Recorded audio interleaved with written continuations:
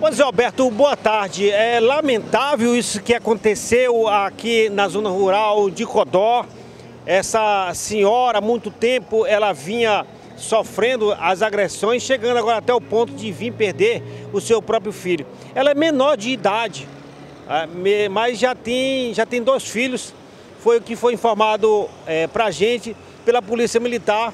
Assim que eles souberam dessa agressão, pelo Serviço Social do Hospital Geral Municipal. E quando o, o, o, o cabo Aurélio chegou lá no, lá na, no HGM, que assim tome as providências, se tomou também as providências de tentar ouvir a mulher. E aí sempre, é, na Maria da Penha, tem uma, uma FEM, uma policial militar, que conversou com a mulher e assim ela relatou as agressões que ela vem tendo há muito tempo com o seu agressor é, e chegando agora ao pior. É, vamos ouvir o que o Cabo Aurélio é, falou para a nossa reportagem em relação a esse, essa agressão que terminou na morte de um bebê. Ela nos informou que foi agredida pelo seu companheiro. Essas agressões elas se concentravam na região da barriga e em decorrência dessas agressões ela começou a perder líquido e a sentir dores na região da barriga. Posteriormente, procurando a HGM para o atendimento, ela teve a informação de que perdeu o seu feto. Seu feto ele estava, é, já havia morrido. Né? E de posse dessas informações, a gente deslocou até o povoado Sentada, né? que é o local onde ela informou que residia. E lá encontramos o seu companheiro, né? ao qual ela já tem um relacionamento de três anos e com ele já possui uma filha de dois anos e chegando no local, encontramos ele né, e fizemos a condução dele até a delegacia.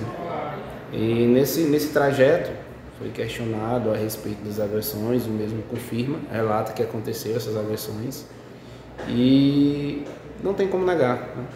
Depois dessa situação, a gente apresentou ele na delegacia, na, na, na presença da delegada Tecla, foi feito o boletim da Polícia Militar e ele se encontra disponível lá para os trâmites referente ao caso.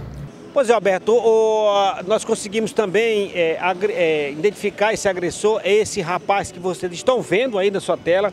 O nome dele, nós também conseguimos, através de parentes, identificar ele. Segundo o parente dele, esse aí é o, o Silvestre de Souza Araújo, ele tem 20 anos de idade.